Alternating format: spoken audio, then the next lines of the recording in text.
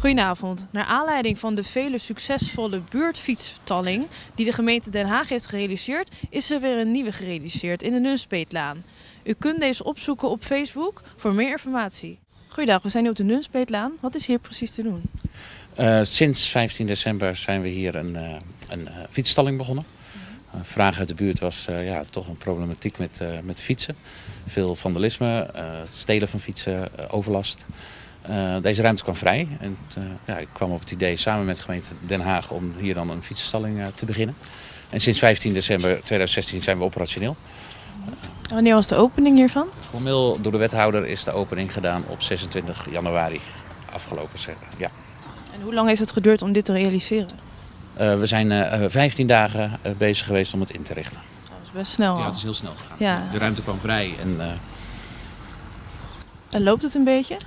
Uh, ja, veel interesse. Uh, maar mensen ja, willen toch even nadenken voordat ze een plekje reserveren. Ze gaan toch ook een soort van verplichting aan.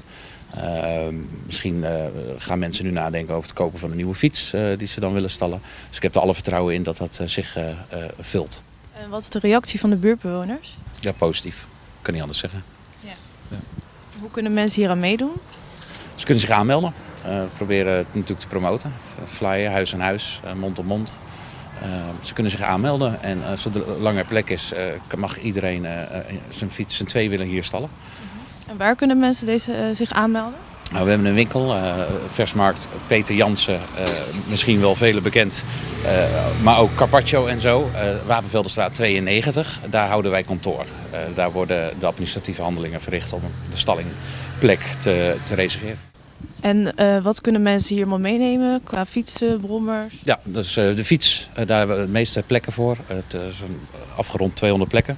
We kunnen ongeveer 12 tot 14 scooters kwijt en zo ongeveer 10 motoren.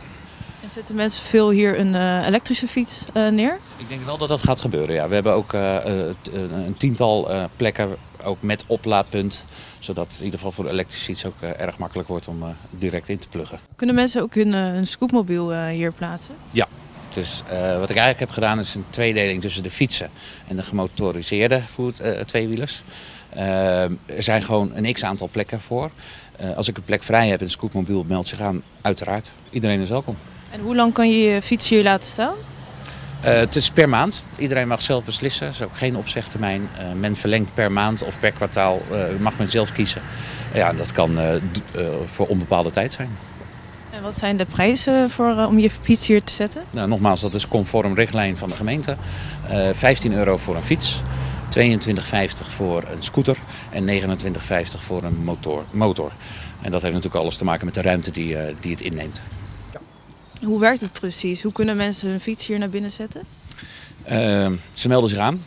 Uh, dan krijgen ze een keycard. Voor de termijn dat ze betaald hebben, uh, ja, maken wij die keycard voor hun op naam. dus de kaart is persoonsgebonden. Men logt in het slot, opent het slot. dat wordt geregistreerd ook in het slot. Dus het is een, een systeem wat uit de hotellerie komt. En de camerabeelden. Uh, uh, ja, die combinatie geven een sluitend verhaal over ja, wie erin is, om welke tijd en, en, en wat er gebeurt verder. Dus ja, dus de, zo optimaal mogelijk ingericht om de veiligheid van de, van de tweewielers in ieder geval te, te garanderen. Kan iedereen hier aan hun fiets plaatsen? Ja, natuurlijk is het wel een buurtaangelegenheid. Het is natuurlijk ook handig als je fiets dicht bij het huis staat, of je, of je scooter of je motor. Maar uh, in principe mag iedereen uh, zijn kostbaarheden hier stallen. Ja.